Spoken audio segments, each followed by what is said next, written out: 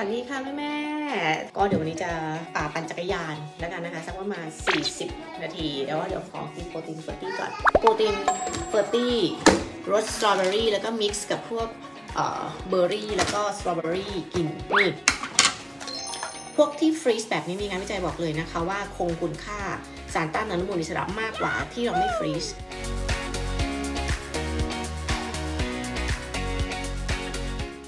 แล้วก็เดี๋ยวแม่จะใส่นมอัลมอนด์นะคะ แล้วเดี๋ยวจะใส่นมแพะนะคะนมแพะคัดเกรดมาแล้วนะใครที่รอรออยู่นะคะนมแพะคัดเกรดจะมีหน้าคุกก้อยนะคะคัดเกรดในที่นี้คือเป็นเกรดหัวนมนะคะคือเป็นเกรดที่เข้มข้น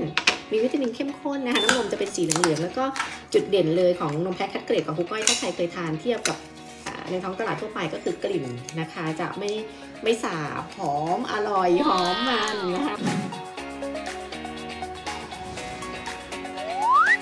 โปรตีน Ferty เนี่ยเป็นเป็นโปรตีนที่ถูกออกแบบมาให้คนวางแผนท้องโดยเฉพาะ แล้วก็ทานยาวไปจนกระทั่งเราตั้งครรภ์หรือว่าให้นมนะคะทานได้ไม่ต้องงดเลยนะคะ คนที่กำลังท้องแล้วก็แบบทานโปรตีน Ferty อยู่ตลอดตลอดเนี่ยลูกจะออกมาแบบน้ำหนักตัวดีนะคะบำรุงดี เพราะว่ามันมันเป็นสารอาหารโปรตีนเนี่ยจำเป็นมากๆกับการเจริญเติบโตของทารกนะคะเมล็ดฟักทองเราทานวันละหนึ่งกำมืออยู่แล้วนะคะเมล็ดฟักทองของครูก้อยเป็นแบบออร์แกนิกมีอย. นะคะ คัดเกรดแล้วก็เวลาอบเนี่ยเราจะอบอุณหภูมิที่พอดีพอดี ถ้าอบอุณหภูมิที่ไม่เหมาะสมก็จะเสีย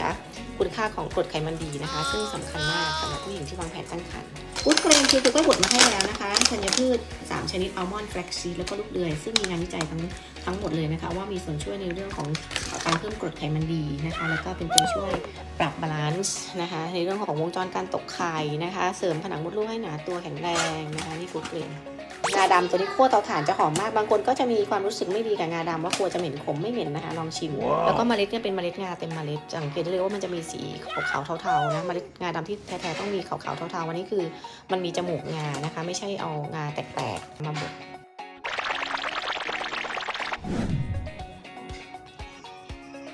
อื้อหือ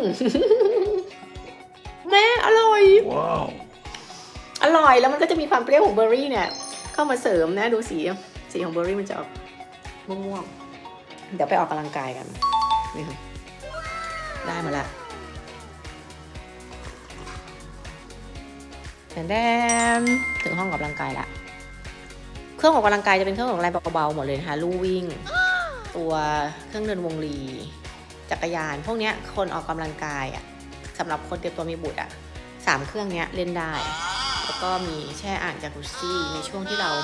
เตรียมผนังมดลูกแล้วก็อาบน้ำอุ่นอะไรแบบนี้ได้ เพราะว่าให้มดลูกเราอุ่น เดี๋ยววันนี้จะเป็นเครื่องเดินวงรีแล้วกัน เดี๋ยวจะกินยากนิดหนึ่งอปั่นจักรยานก่อนสำหรับคนที่เตรียมตัวมีบุตรออกกำลังกาย 150 นาทีต่อวีค150 นาทีต่อวีคนะคะ จะแบ่งเป็น 30 นาที 5 วันก็ได้ คือออกกำลังกายวันละ 30 นาที ออกกำลังกาย 5 วัน หรือออกกำลังกาย 3 วัน วันละ 50 นาทีก็ได้ และเป็นการออกกำลังกายแบบเบาๆ จนถึงระดับกลาง ห้ามออกกำลังกายหนักโดยเด็ดขาด เพราะการออกกำลังกายหนักทำให้ฮอร์โมนเราแกว่ง การออกกำลังกายหนักไปโฟกัสที่กล้ามเนื้อ เช่น weight หนักสร้าง body line สร้าง six pack จะไปโฟกัสที่กล้ามเนื้อ เพราะฉะนั้นโปรตีน Ferty ที่แม่กิน จะไปบำรุงไข่มันจะแย่งไปบำรุงไปสร้างกล้ามเนื้อ เราออกกำลังกายเพื่อกระตุ้นการไหลเวียนเลือดแล้วก็ทำให้หัวใจของเราเนี่ยสูบฉีดโลหิตดีทำให้ฮอร์โมนดีฮอร์โมนสมดุล ไม่ได้ไปโฟกัสเรื่องของการสร้างหุ่น